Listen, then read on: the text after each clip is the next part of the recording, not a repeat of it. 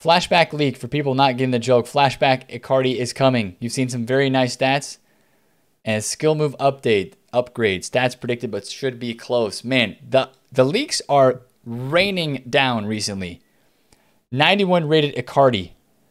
If that's the card, and if he gets a skill move upgrade, that's kind of crazy. PSG links, that gets the kids all hyped.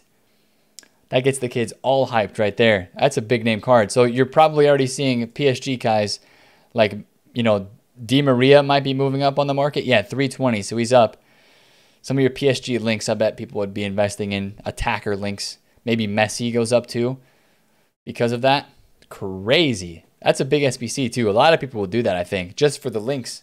And for a usually not usable FIFA card um, to be used. So along with the leak for um, the Icardi item, we have a Sarr item uh, that is evidently coming to tomorrow or today, Friday, as a league objective card for the Premier League. Not official stats, but uh, that's a French center back with everything being so hyped around French cards.